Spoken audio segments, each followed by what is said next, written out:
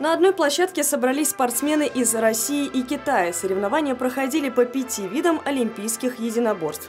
Дзюдо, тэквондо, классическая, вольная борьба и бокс. Формат мероприятия «Фестиваль Содружества» программа началась за четыре дня до официальной спортивной части. Сперва зарубежным гостям показали Москву, после – музеи и выставки уже на родине Ленина. Учитывая то, что Ульяновская область подписала договор о дружбе, сотрудничестве, взаимодействии с провинцией Хунань Китайской Народной Республики, республики. Мы вот предложили э, в качестве такого пилотного проекта начать это содружество с нас, со спортсменов.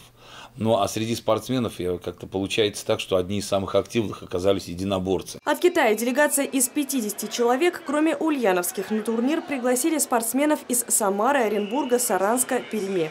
Всего 11 поволжских регионов. В прошлом году у фестиваля был именно такой формат, только российские спортсмены из Приволжского федерального округа.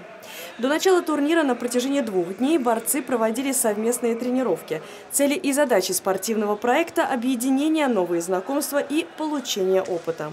Китайцы не победили ни в одном из видов единоборств. Призерами стали... А, единственное, в боксе один китаец стал победителем своей весовой категории.